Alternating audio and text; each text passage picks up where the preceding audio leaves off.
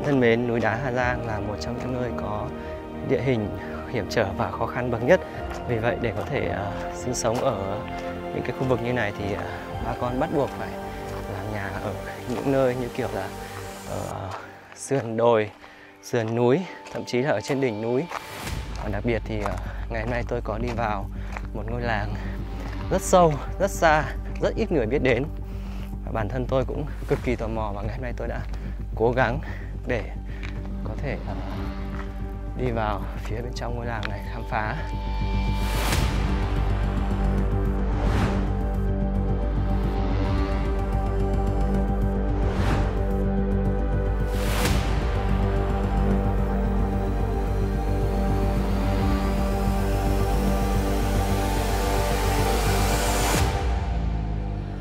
Chào chú nhá.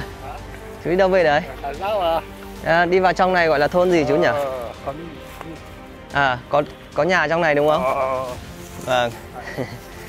Ờ, nhìn từ trên cao thì con đường nó khá là ngoằn ngoèo nhưng mà khi đi ở bên dưới thì nó lại có những cái con đường mòn đường tắt nho nhỏ như này để đi sâu vào phía bên trong.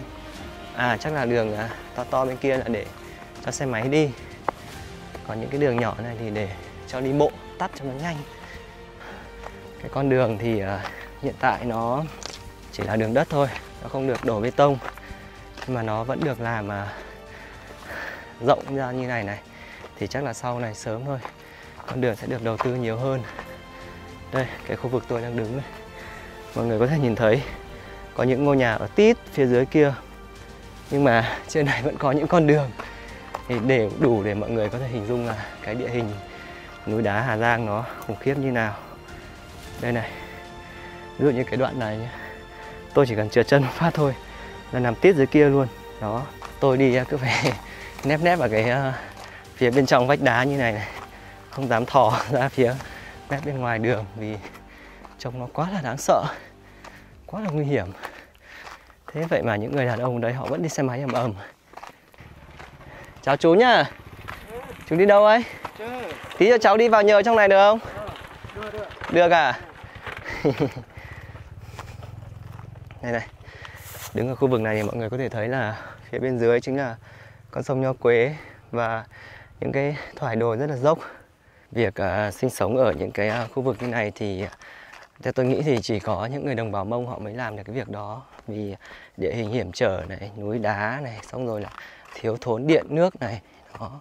Thì chỉ có duy nhất người đồng bào mông họ kiên cường họ kiên trì họ làm nhà ở những cái vùng mà thực sự là những người miền xuôi như chúng ta không thể nào mà tưởng tượng được. Cũng như cái ngôi làng này, này cái con đường mà để đi vào ấy, thì nó chỉ nhỏ này thôi mà thậm chí là đường đất. Nhưng mà đi sâu vào bên trong thì lại có rất nhiều ngôi nhà và thậm chí là những ngôi nhà rất là to. Tôi ngày hôm nay đi bộ gần 30 phút rồi mà chưa gặp một à, à, người dân nào ở phía bên trong này. Họ đi xe máy về để đi nhờ. Con đường đi vào trong à, ngôi làng này cũng xa đi rất là lâu ở bên dưới này thì chúng ta có thể uh, nhìn thấy uh, thủy điện nho quế này. Đó một cái dòng nước rất là xanh. Họ đã chặn cái dòng sông nho quế lại để uh, lợi dụng sức nước làm nhà máy thủy điện và cung cấp điện cho khu vực này luôn. Những cái địa hình hiểm trở như thế này thì uh, tôi nghĩ là để làm được uh, một con đường đẹp đường bê tông ấy cũng rất là khó.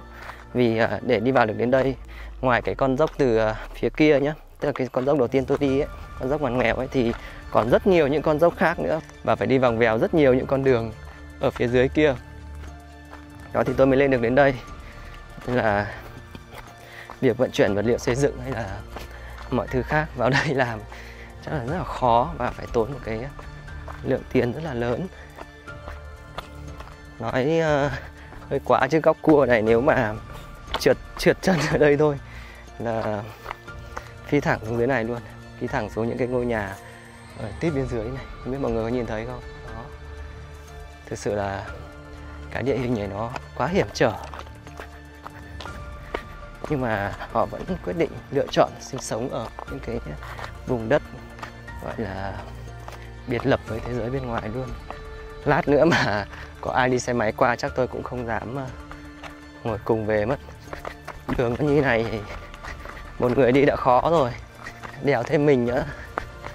Để gây nguy hiểm cho người ta nguy hiểm luôn cho cả mình.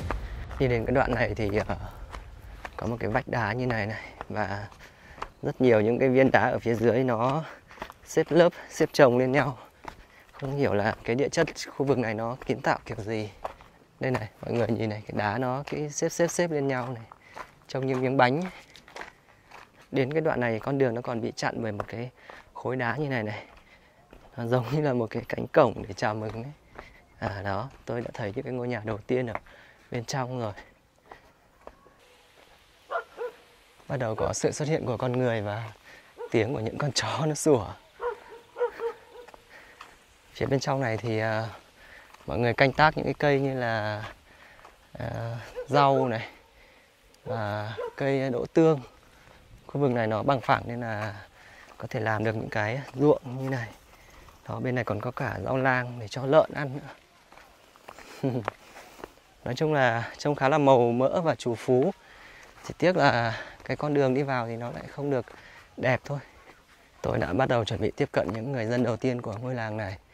Và tôi nghe thấy rất nhiều những cái tiếng ồn ào. Không biết họ đang làm gì đây. Ui, ui, ui, ui. Ui. Ui. À. Thấy mọi người đang đào đất. Chào chú. Đây là nhà của chú à? Chú đang chú là nhà hả? chú đang đào đất để làm nhà chú à? Là chú là nhà vậy À. Vậy là nhà nhà thôi, tao tôi tổng cưỡi rồi, ui rồi, đấy cái nhà này. Ừ. Rồi. To to.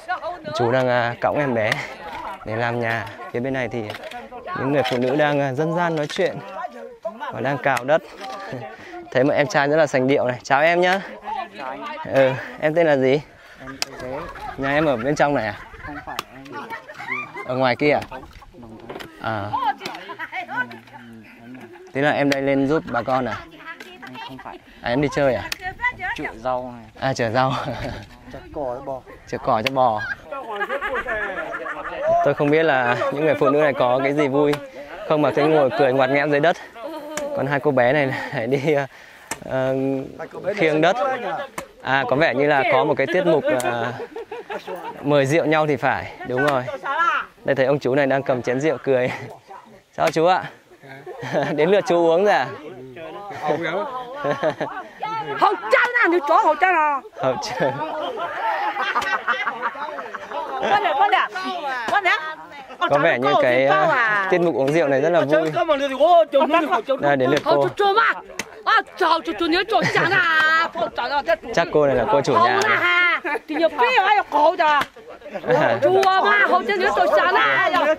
nhìn cái chén rượu này ui rồi ôi. Thực sự là uống kiểu một chén hết luôn một hơi luôn đấy ôi là đến cô này này. Cháu, cháu thấy cô mặt đỏ rồi Mặt đỏ mà có vẻ là hơi say rồi đấy. Ồ, cô đang phải cố uống thành hai lần.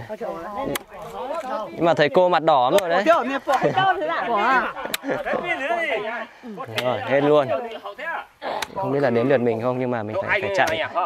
Có vẻ như là đến lượt mình đấy Có vẻ đến lượt Anh phải ơi, chị Tông. Tôi chết rồi, tôi chết tôi rồi Anh ơi, Chết tôi rồi 做啊！Thôi giờ đến lượt mình rồi Nhiều quá Ừ. Nhiều quá cô ạ á. Này cháu ờ, không uống rượu mà cháu tặng cô một món quà được không? Không, ý là cháu đổi chén rượu này lấy một món quà được không? Cháu tặng ờ, cô một món quà chứ cháu không uống rượu nữa thì được đúng không ạ? Vâng. Đấy đấy mọi người đồng ý rồi. Sai thì thật thằng thằng ăn chịu rồi, u đau xí đó. Thì ờ, bây bây giờ cô cũng đang ờ, đang làm nhà ấy thì ờ, cháu cũng chả có gì nhiều thì cháu gửi tặng cô một món quà nhá. Thì cháu không uống rượu nữa mà cháu sẽ Vâng. À đây phải nhờ anh này nói, nhờ anh này nói. hậu cho người cho cho người phụ ấy giả chùa mấy mấy gì đó Ờ. Được không ạ? À, được được thì, thì cháu gửi lại cô chén rượu nhá. Rồi. Các bạn thân mến, mình thì mình không uống được rượu nên là mình à, à, sẽ quyết định đổi. Vâng, cháu không thích uống rượu. Thì thôi à, thấy mọi người làm việc này cháu cũng thấy rất là vui thì à, đây cái cô chủ nhà vẫn ép tiếp. Cô ơi, đây có phải chủ nhà không nào cho ấy. ai là chủ nhà? Hả? Thế vợ của chú đâu? Ở nhà. Chị. à thế ai sẽ là đại diện để à, để cầm tiền giúp cháu nhỉ? Đây đây đây. vâng thì thôi à, thấy mọi người làm nhà vui vẻ này cháu cũng rất là vui thì à, thôi cháu không uống được rượu thì à, cháu gửi tặng gia đình à, một một món quà nho nhỏ để làm làm nhà nhá rồi à rồi thì coi như là chén rượu đấy là cháu uống xong rồi nhá đúng rồi đấy à nhưng mà mọi người ép rượu nhau này thì tôi không biết là khi nào mới đào xong được cái móng nhà không không cháu không uống nữa chú chú nói giúp cháu với bây giờ vẫn bắt cháu uống rượu này cái cái này đổi hậu rồi cái này đổi hậu rồi ơi, buổi thích gì mà hỏi Sao đi mà chơi. ừ. so Đúng sinh rồi đó hả? so sinh Phải à, ôi ôi là nhà này. rồi ok nhá thôi cháu chào mọi người nhá chúc mọi người làm việc vui vẻ nhá may quá vì tầm này mình đang đói rồi mà uống rượu thì xót ruột lắm thôi bây giờ tìm đường xuống để đi vào phía bên trong ngôi làng tiếp thôi đến cái khu vực này thì à, tôi thấy có một cái à, chiếu nghỉ gọi tạm là chiếu nghỉ vì à, tôi không biết gọi nó là gì nhưng mà nó rất là ấy như này, để có thể ngồi chơi. Đây là một nơi ngắm cảnh thực sự là đẹp luôn. Đó nam thanh, nữ tú ở ngôi làng có thể hẹn nhau ra đây để ngắm cảnh. Đây nhá, để tôi cho mọi người xem này. Phía bên dưới này. Đấy. Kinh khủng không? Bao la tầm mắt, vút tầm mắt luôn và nhìn bao trọn thấy con sông nho quế ở phía sau cái nhà máy thủy điện luôn. Nói chung nói chung là cái chỗ này là một chỗ để hẹn hò yêu đương cho các cặp đôi cực kỳ là tuyệt vời đó. Nếu mà kiểu ừ em có yêu anh không? Mà em không yêu anh thì ừ đẩy một phát xuống dưới, dưới này luôn. Nên là nếu mà tỏ tình ở chỗ này chắc chắn sẽ thành công. Một phong cảnh cực kỳ đẹp. Chỗ này cũng vậy này. Chỗ này cũng là một nơi để uh, nam thanh nữ tu ngắm cảnh và uh, hẹn hò này. Nhưng mà khi mà nhìn xuống dưới ấy, mọi người thấy không? Đó. Toàn vực là vực thôi. Nhưng mà phong cảnh thì rất là tuyệt vời. Rất thích hợp cho chuyện yêu đương rồi, phía bên này thì ngôi làng à, rộng lớn đã mở ra trước mắt. Tuyệt vời mọi người ạ. Thực sự cái ngôi làng này nó nằm à, ẩn nấp dưới à, những cái quả núi thoai thoải thấp thôi. Nhìn nó rất là đẹp. Tôi thấy có một cái điểm trường như kìa các cháu học sinh còn đang ờ, đến giờ được bố mẹ đón về rồi. Thời điểm này cũng hơn 11 giờ rồi. Ôi, để ý còn rất nhiều nhà xây luôn. Chỗ này phải nói là giàu đấy xen kẽ giữa những cái ngôi nhà uh, cũ cũ rất nhiều những ngôi nhà xây cao tầng. Ngôi làng nhìn ở trên cao thì ờ, trông rất là đẹp và có điều kiện. Nhưng mà cái con đường để vào ngôi làng thì lại rất là xấu. Không hiểu vì sao lại có một cái sự đối lập như vậy. Và không biết là bao giờ nữa thì ờ, ngôi làng mới được đầu tư con đường đẹp để đi lại cho dễ. Nãy mà uống cái chén rượu vừa nãy à, chắc chắn là đi vào đến đây là mình say luôn. May. Ô, bên này nhiều các cháu nhỏ ghê. Đang chuẩn bị ăn cơm trưa hay sao ấy? À đúng rồi. Đây là một điểm trường. Và đã đến giờ ăn cơm trưa của các con. Trên dưới này, bà vẫn làm vải lanh này.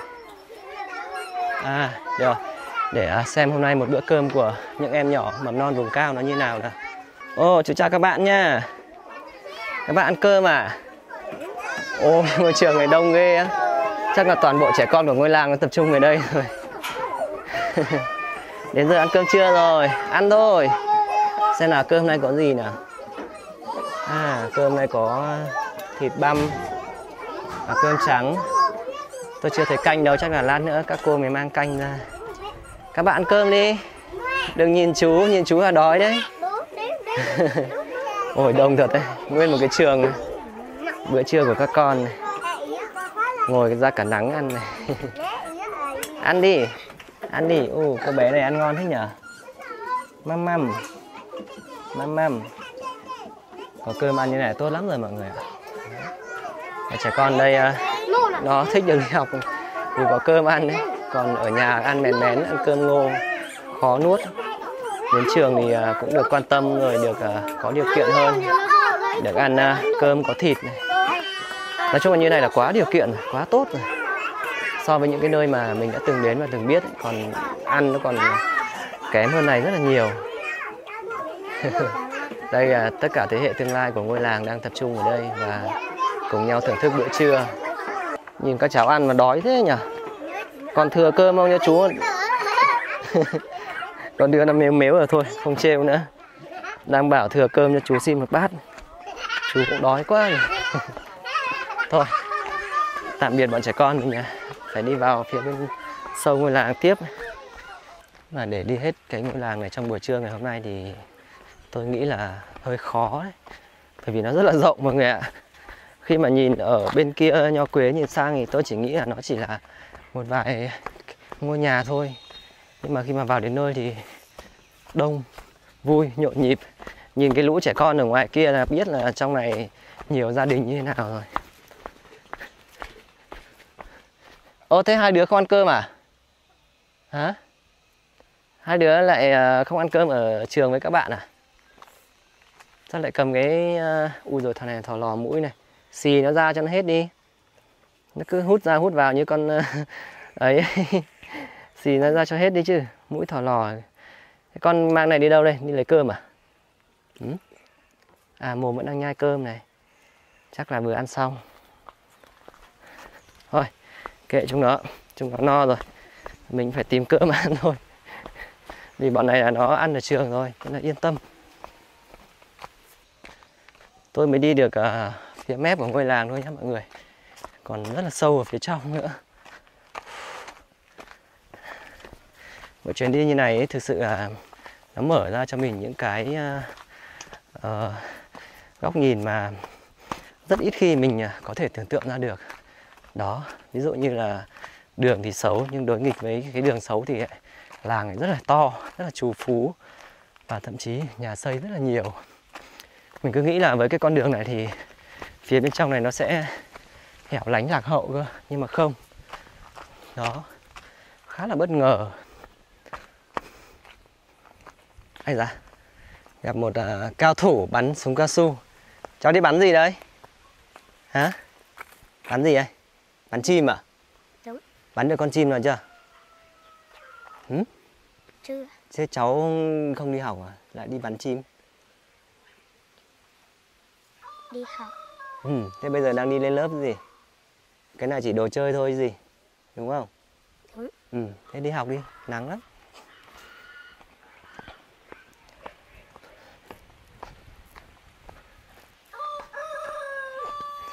vào đây là sắp mất phương hướng rồi mọi người vì nhìn từ trên cao thì thấy đường nhưng mà nhìn ở dưới thì rất khó để nhận định chào các chị nhá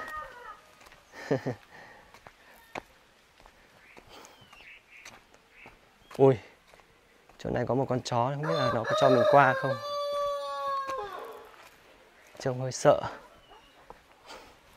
Ừ, con này chó cảnh thôi chắc là hiền. Cùng lắm phải trồm tao được cái. Tao đạp mày cái. Sợ gì. Ồ, bên này có một cái công trình chắc là của nhà nước này. Không biết là trường hay là nhà trọ phía này thì à, có những ngôi nhà xây những ngôi nhà bằng đất đang xuống cấp một cái vườn rau nho nhỏ. Ồ hai em bé này đầu trần đi đâu đây? Ừ. Cái gia đình này đáng yêu này. Mặc dù ngôi nhà thì nhỏ thôi nhưng mà cái vườn rau lại rất là to. À, có cả tiếng người trong nhà. Chào mọi người. Anh chị ơi. Có ai ở nhà không? Có ai ở nhà không nhở? Vào chơi được không? Có vào chơi được không? Đang làm gì đấy? Thế à? À đang ấy con à? À à, chào mọi người nhá ờ ờ thôi cứ ngồi đi đang à, chăm con thôi gì ăn cơm chưa chưa ăn à Ủa thế mấy em bé này không đi học à Đi đâu? Thế không đi á? Hay là Đi. đi rồi à? À. thằng này con ai đẹp trai thế? Ui. Thầy đẹp trai thật. Con con của ờ, em à? Con của em à? Ôi rồi đẹp trai nhỉ? Sao để khéo thế? Để được đứa con đẹp trai nhỉ? À, đang lấy kẹo cho con ăn à? Bên này à, các mẹ đang cho con ăn bánh mì. Ừ. bên này có nuôi một chú lợn này đúng không? Lợn của nhà em à? À. Cái cái chuồng nó khá là đơn giản nhưng mà chú lợn chú cũng ờ, rất là hài lòng với nó thì phải. Đây này ngủ rất là ngon lành. Đây à. Ồ chào cô bé nhá. Cô bé này cũng có nét xinh xắn này. Đấy. Ôi thì cứ đầu trần thế này đi ra nắng thôi. Bây giờ hơn 12 giờ trưa rồi mọi người ạ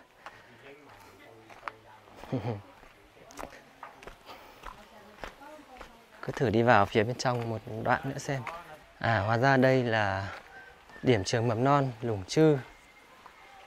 Đó. Một trường cũng khá là khang trang. Bà con thì uh, trồng rất nhiều mía như này để uh, làm cây kinh tế.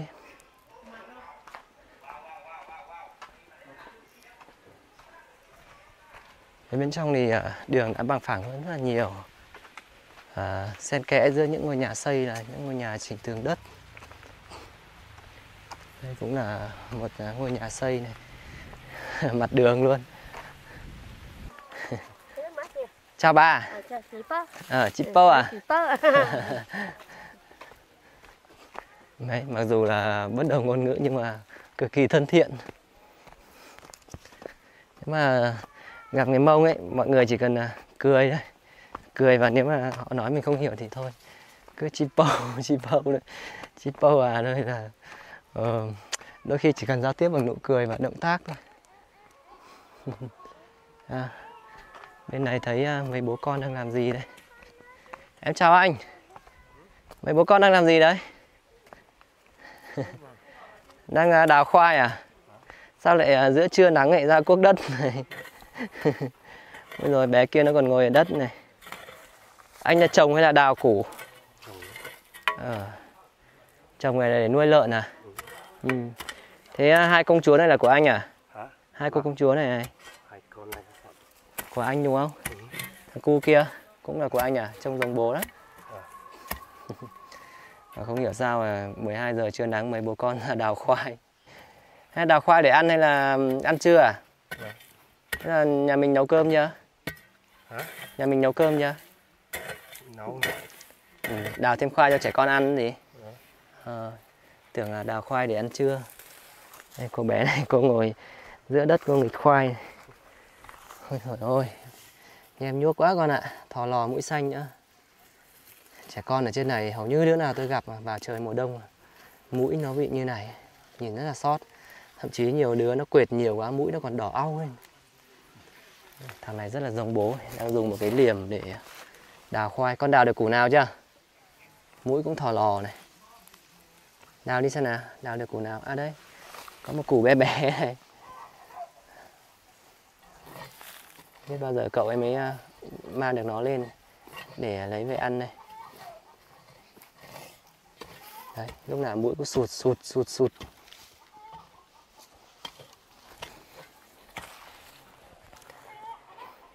Này bây giờ em cho nó bánh xong rồi anh cho nó vào nhà được không?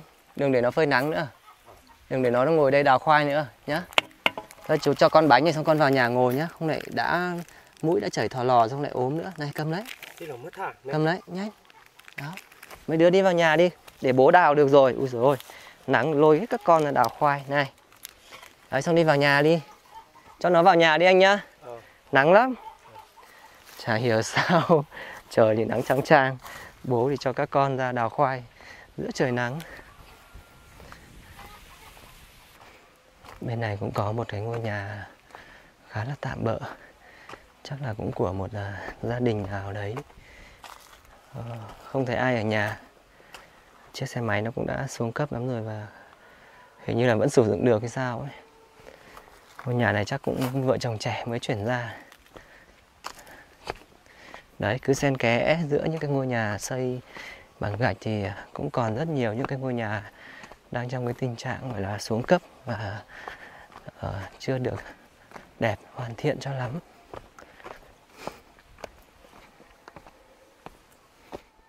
Lên lỏi giữa những ngôi nhà trong cái ngôi làng này là những con đường đất. Ô, bên này hai chị em cũng lại đem nhau ra bêu nắng thế này. Giỏi thật. Em chào anh nhá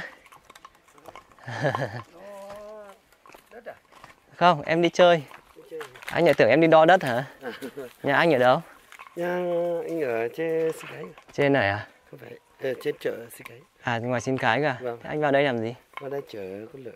à anh đi mua lợn à Vâng. anh mua được chưa Muốn được ờ, bây giờ đang đấy không chợ được. à đang không biết cách nào để trở về á Vâng. lợn bao nhiêu cân Là hơi tạ. hơn tạ cả Vâng. ôi thế cái đường đấy mà anh trở về được thì cũng giỏi đấy quá chắc không được đâu. ừ thế phải mổ ra xong chuyển thịt về thôi chứ nhở Cái đấy có đấy chắc để nuôi. để nuôi à họ để ở đây họ mổ ăn ở đây thôi chứ nhở Ừ, đây mủ ăn nhưng mà không mua hết. Xong rồi mình để chở đi ừ. các kiểu nó thì sợ mình lúa. ừ. Xong rồi Mình nghĩ là cứ chở à, sống thế này xong là chở bán thì bán không bán thì mình nuôi. Dạ. Vì trong này mà nuôi được con lợn hơn 100 cân là cũng giỏi đấy nhở Ồ, Nhưng mà từ đây đi lên trên thì khó quá. ừ. 50 cân cũ quá rồi. 50 cân đã đi được ra ngoài đã khó rồi Đấy, đấy. con này 100 cân xong lúc chở lợn nó còn dãy dãy ấy nhỉ Vâng. làm sao mà mình đi vững được Đấy. Cái khu vực này à, những đứa trẻ con nó còn à, nằm chơi trên những cái hòn đá này, này. chào em nhá chào hai em thế hai cô bé này có vẻ à, à, lớn lớn này. Chào hai đứa nhá. Tôi đến nhà của hai cô bé. Trông cũng khá là xinh xắn. Chào em. Nói chuyện được không? Có đứa nào nói được tiếng kinh không? Em gái này sợ mình chạy đi rồi. Đừng sợ anh không làm gì đâu. Anh nói chuyện thôi mà. Em. Em đã nói được tiếng kinh nhỉ đây đứa trẻ con nó còn chơi ở những cái phiến đá như này này. Ôi xinh gái thế nhỉ? Em nói được tiếng kinh không hả nói được không em là mẹ của bạn này à ừ? Chipo à? Ờ, chị Chipo à? Ôi ôi, em bé xinh này nhưng mà vẫn thỏ lò mũi xanh. Cô bé kia sợ mình sao chạy mất rồi. Em ơi chạy anh làm gì? Anh có làm gì đâu. Làm gì mà sợ anh thế? Anh có ăn thịt đâu mà. Thôi, kệ cô ấy. Bên này cũng là một ngôi nhà rất là tạm bỡ này. Phía trên này thì lại ngôi nhà xây. Bên cạnh thì là ngôi nhà xây. Cứ xen kẽ nhau như vậy. Những cái con đường thì nó cũng rất là xấu, vừa đất vừa đá. Đó. Gia đình này có một ông chú mới đang làm gì? Xin chào chú nhá. Chào chú. Hả? Chú đang làm gì đấy? Không biết đâu. Không biết à? ừ. Trong nhà đang nấu cơm khói quá.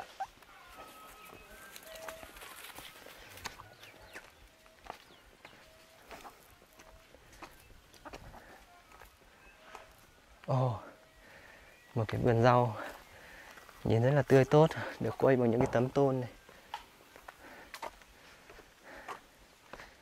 Ồ, hình như là tôi sắp đi hết ngôi làng rồi thì phải.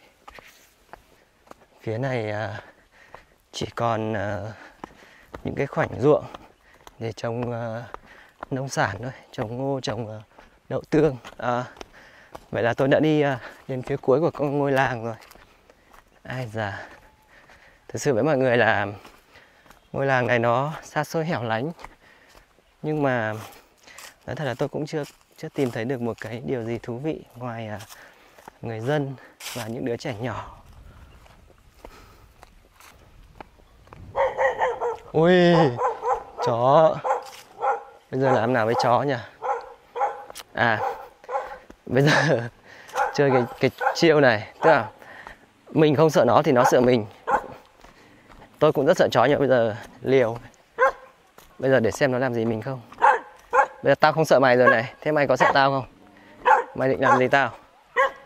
Đó, nó không dám rồ ra đâu. Kể cả chúng mày có sủa nữa tao cũng không sợ nhá. Đấy. nói chung là sau nhiều lần đi bản làng thì cũng mạnh dạn hơn rồi. Chó má là không sợ nữa rồi. Ở đây có một cái à, khu vực giếng lấy nước sinh hoạt chung cho cả làng hay sao ấy. ừ đúng rồi. Nhưng mà còn ít nước lắm.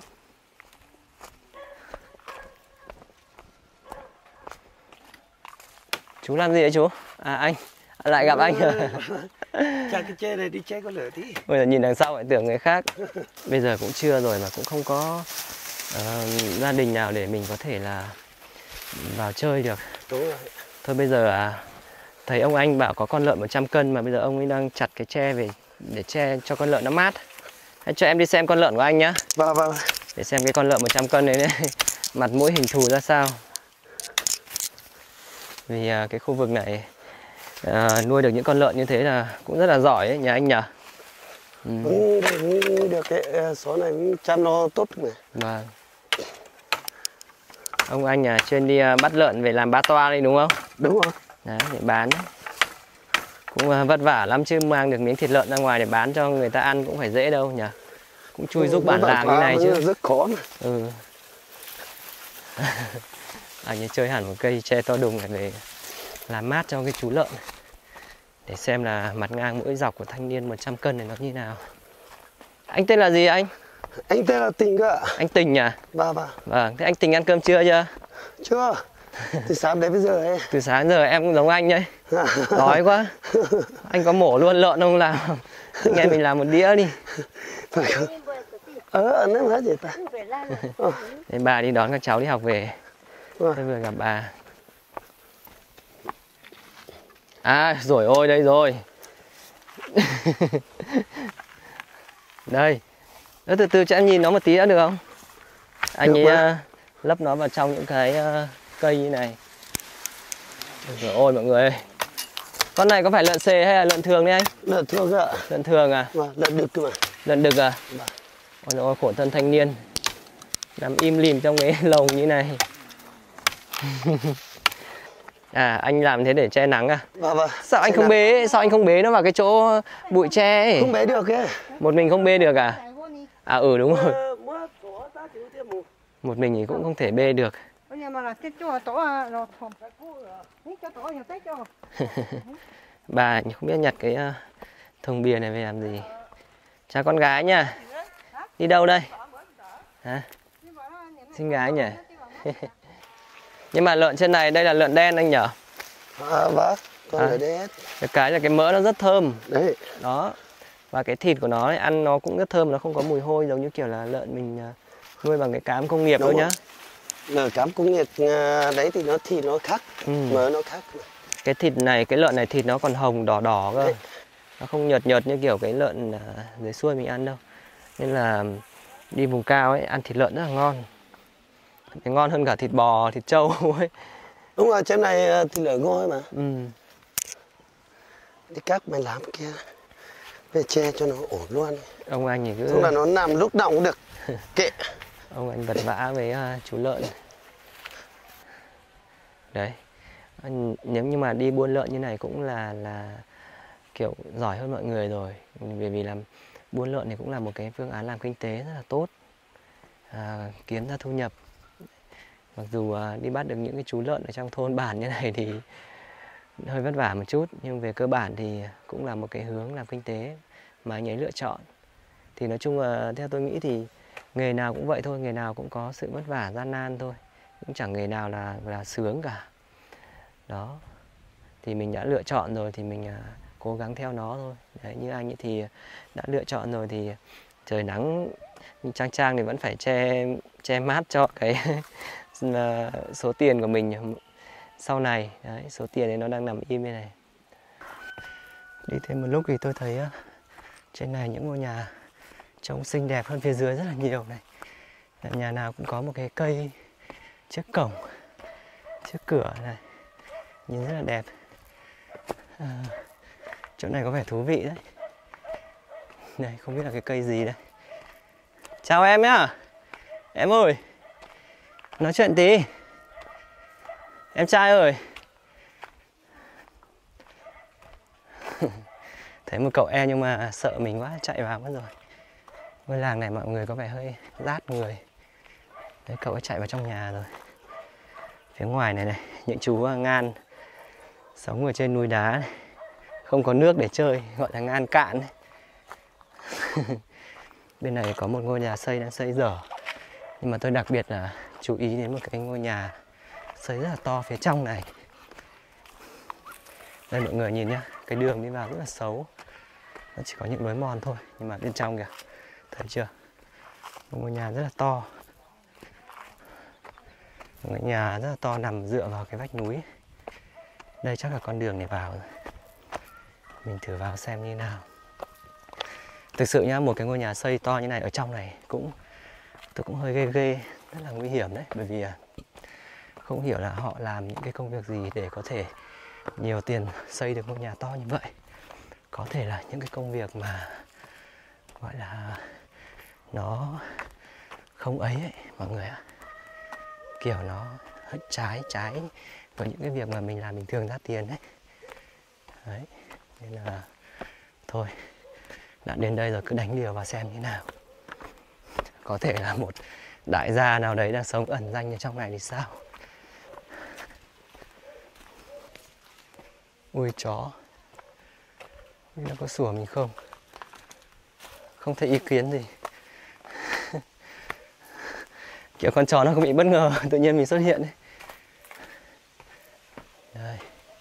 Đi đến được cái ngôi nhà xây đấy thì phải qua những cái ngôi nhà khác. Đây này mọi người này. Trông khiếp không? Một ngôi nhà xây rất là to. Ui, dựa trên vách đá. Ui, nhưng mà tôi thấy một chị đang cởi áo tắm. Ôi, chị đi vào nhà rồi. Ôi, ngại quá. Đang tắm giữa lộ thiên luôn. Ngại quá. Đây này, ngôi nhà này xây kiên cố. Không rất là to luôn. Và hiện đại nhá. Ai giờ? À có trẻ con. Thôi, cứ thử vào xem như nào. Mình cũng đi với một cái tinh thần là vui vẻ thôi mà. Con chào bà chào bà muốn à? ồ mắt bà bị làm sao này? Một bên trắng xóa luôn. Bà đi lấy gì về đấy? À? con xem nào. Ôi bà lấy một cái cây này để làm bà. gậy này. Tôi không biết bà bao nhiêu tuổi nhưng mà bà đi lấy rất nhiều những cây củi tươi như này. Ờ, thấy bà cũng hơi vất vả thôi. Ờ, tặng bà một món quà nho nhỏ đi. Bà ơi bà bà dừng lại bà dừng lại con nhờ bà này tí. Con có quà cho bà phía bên này chắc là ông. Con chào ông ạ. Ôi ông bà đi lấy củi về muộn nhỉ? Cái củi to thế. Ông nói được tiếng kinh không? Chipo à? Chắc đây là hai ông bà rồi. Thôi à thấy hai ông bà cũng vất vả ấy. lớn tuổi mà. Vâng lớn tuổi vẫn phải đi lấy những cái cành củi to như này. Đây bà ơi. Con tặng ông bà. Ôi bà cái áo của bà nó còn hở ra nó còn không có cúc kia kìa. Đấy còn lộ hết cả ra kìa con tặng ông bà một một món quà nho nhỏ ạ. Thấy ông bà vất vả quá. Bà mắt còn à, bị làm sao nữa ấy. đây con bà cầm đi ạ. À? Đấy, ông bà về đi không muộn. So sinh à? So sinh rồi ông về đi ông bà về đi. Ông còn phải dùng cái cỏ để à, lót lên cái vai cho đỡ bị bị đau đây này. Đấy hai ông bà tôi nghĩ phải 70 tuổi rồi vẫn rủ nhau đi lấy củi rất là vất vả cuộc sống ở trên này. Ôi bên này cái vườn rau chắc là của chủ nhà hay sao ấy. tốt thế. Rau sạch 100% ấy. À chỗ này là một quần thể những ngôi nhà. Thôi mình cứ à, lên đi nhỉ với một cái tinh thần gọi là ừ, đoàn kết. Đó, vui vẻ. Anh chị ơi! Có ai ở nhà không ạ em ơi cháu ơi! Chỗ mà chị vừa tắm chị chạy mất này. Em chào mọi người nhá. Vắng lặng. Đây này. Cái ngôi nhà này chắc là gia chủ đi làm thuê ở Trung Quốc ấy, cái thời nó không đóng biên ấy, thì mới có nhiều tiền để làm như này. Tôi đảm bảo luôn chắc chắn người chủ này từng đi làm thuê ở Trung Quốc. Một ngôi nhà 3 tầng nằm ở sâu bên trong những bản làng sâu trong núi đá. Dã man thật. Bên này mọi người đang làm những cái cây đỗ tương này. Xin chào chị. Chào em. Mọi người ai nói được tiếng kinh không ạ? Ê mấy đứa ơi ra đây chú bảo. Đứa nào nói được tiếng kinh không? Ra đây chú cho kẹo này. Nhiều trẻ con đấy. Ra đây nào. Cô này xinh nhỉ? Chào con chào cháu cháu nói được tiếng kinh chưa hả trông xinh đấy có nét rất là xinh ôi rồi đội quân bên này này cởi chuông nữa này Này, cháu lớn nhất đây cháu chia kẹo cho mọi người nhá. Cho các bạn em nhá. Mỗi đứa một cái nhá. Mỗi đứa một cái nghe chưa? Đấy. Cô bé này có nét thật đấy. Rất là xinh luôn. Đấy. Mắt một mí nhưng mà môi rất là hồng. À, cái nhà này là của ai? Của em. Của chị à?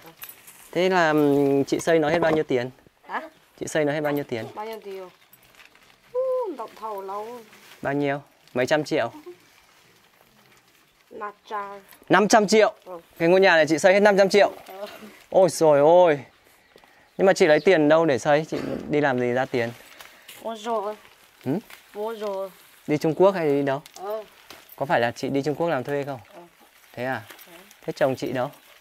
Hả? Chồng của chị đâu rồi? Mua mù đấy, ố túi của mình. Chị bà mẹ tiếng kinh thôi đúng không? Ừ. 500 triệu ngôi nhà này quá là dã man nhưng mà nó vẫn chưa được uh, chát ở phía bên ngoài nó vẫn chỉ uh, xây bằng gạch thôi nhưng mà ở một cái vùng uh, như này mà xây một ngôi nhà hơn 500 triệu thì tôi nghĩ là cái sức kinh tế của gia đình quá khủng khiếp thử ngó bên trong như nào. Ui rồi em vào nhà được không? Em vào nhà được không? Em vào nhá. Ủa, mua mua nhá. Mua mua ừ ok. Thế là cho mình vào nhà rồi. ờ để xem nào. Ngôi nhà 500 triệu ở trên ờ, này nó như nào. Ồ phía trong này còn rất nhiều những ờ, cái ờ, vật liệu xây dựng còn ngổn ngang này.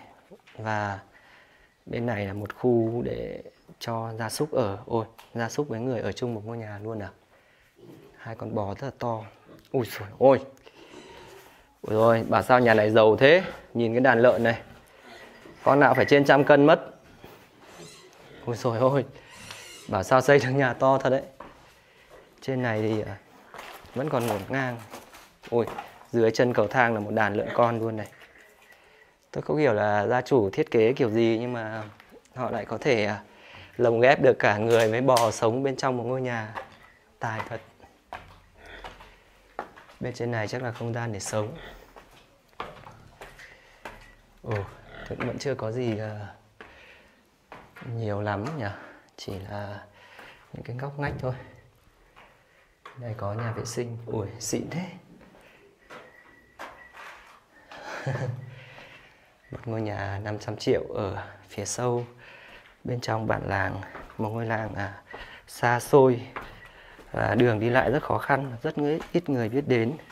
Thậm chí điện không có nước không có thì à, họ đã phải cố gắng rất nhiều mới có thể mang được vật liệu vào. Và xây được một ngôi nhà to như này. Ngôi nhà to như này thì à, cả người cả gia súc gia cầm ở chung luôn khi mà nhìn cái ngôi biệt thự, tôi tạm gọi là ngôi biệt thự này đi, ở trong này với cái giá là hơn 500 triệu, thì à, mình mới cảm phục cái à, à, sức lao động của bà con ở trên này rất là nhiều. Mặc dù còn nhiều khó khăn nhưng mà họ đã vươn lên và làm được những thứ mà chúng ta không thể nào mà tưởng tượng được. Làm được một ngôi nhà rất là to và bề thế, xứng đáng với cái sức lao động mà họ đã bỏ ra. Và ngôi nhà như này thì đến mùa đông thì cũng rất là ấm cúng thôi. Đó cũng nó đó là một cái điều mà mình rất là mừng nhưng mà nếu mà tất cả những uh, ngôi nhà ở phía bên trong này đều xây được kiên cố như thế này thì có lẽ sẽ là một cái điều uh, vui hơn nữa